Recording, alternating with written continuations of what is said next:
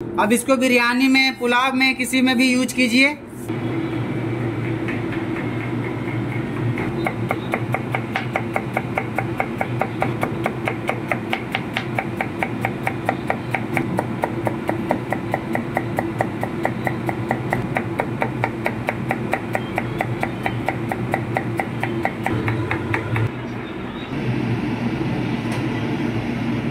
तो गैस हमने सारा प्याज अच्छे से कट कर लिया है।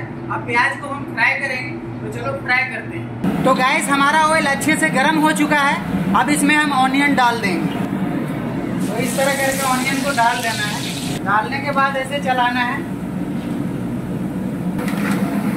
तो देख सकते हैं, हमारा ऑनियन बिल्कुल गोल्डन ब्राउन होने वाला है। उससे पहले हम निकाल देंगे। क्योंकि ज़्यादा गोल्डन ब्राउन करेंगे तो वो काला हो जाएगा। तो अब हम निकाल देंगे इसको। इससे ज़्यादा नहीं करना है। एक पेपर लेना है, पेपर में इस तरह डालना है और पूरा फैला देना है।